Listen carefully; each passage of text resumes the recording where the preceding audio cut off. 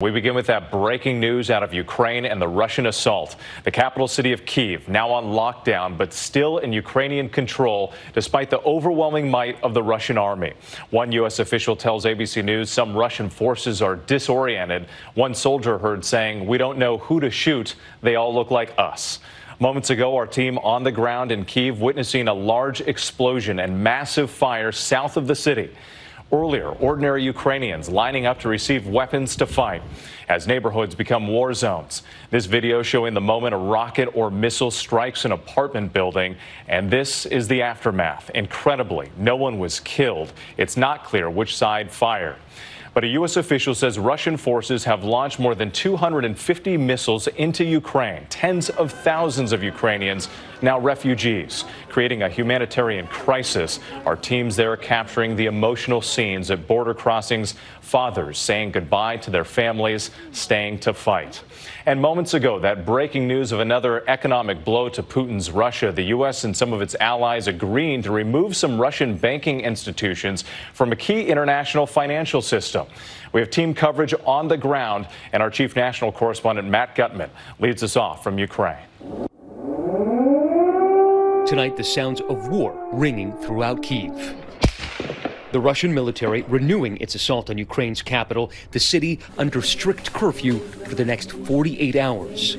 That as skirmishes break out in the streets. The threat of Russian bombardment so present tonight that the news station Ukraine 24 is anchoring its coverage from an underground parking garage. According to a senior U.S. defense official, Vladimir Putin's forces are staging around 20 miles outside of Kiev, so far unable to take the city. The official saying, We don't believe that they expected the kind of resistance that they're facing.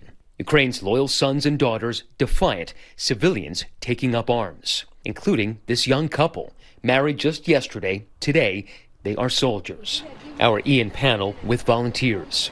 We are happy that we can protect our country. Really, we feel our devotion and ob obligation to do that. President Volodymyr Zelenskyy standing ready to fight with his countrymen. With this rallying cry, we withstood and are successfully repelling the enemy's attacks. The fighting goes on in many cities of our state, but we know we are defending our country, our land, and our children's futures. According to a U.S. official, the Russian military has launched more than 250 missiles into Ukraine. Social media video showing the moment a missile or rocket strikes this apartment building within Kiev's city limits. It's unclear which side fired.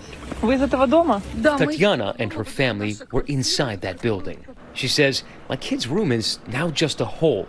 If she'd been in there, she wouldn't have survived. Remarkably, no one was killed, but the human toll is growing. Nearly 200 Ukrainians have died in the conflict so far, over a thousand wounded, including children. This unexploded rocket landing near a kindergarten in the middle of a playground.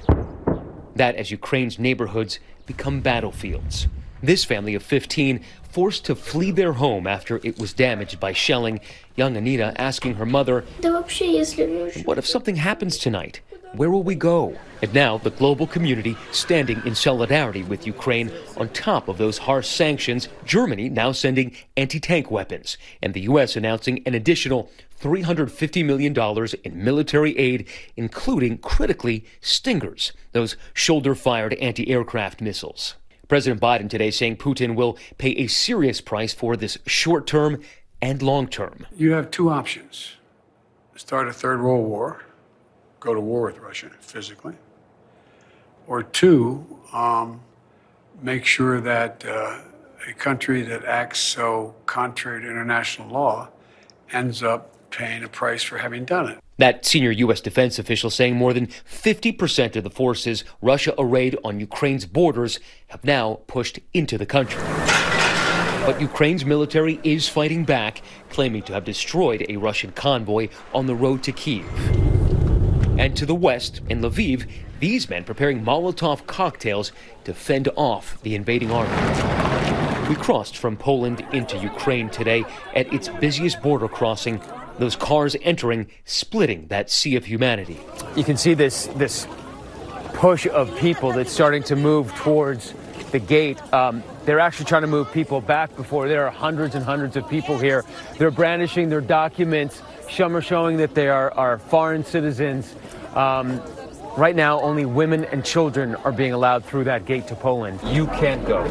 I don't want to go. You don't want to go. You want to stay here Of course. to fight?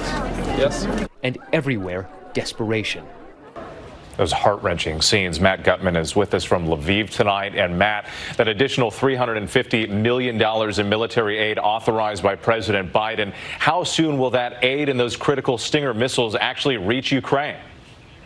Uh, Wait, a U.S. official telling us tonight that that should happen very soon. Obviously, there's some urgency here with Kiev in such peril. Now, getting those Stinger missiles to the region is the easy part. Getting them into the fight is going to be a lot harder. The Ukrainian airspace is closed, and roads and railways are so jammed with refugees right now. Wait. And the timing so critical. All right, Matt, thank you to you and your team. Hi, everyone. George Stephanopoulos here. Thanks for checking out the ABC News YouTube channel. If you'd like to get more videos, show highlights, and watch live event coverage, click on the right over here to subscribe to our channel. And don't forget to download the ABC News app for breaking news alerts. Thanks for watching.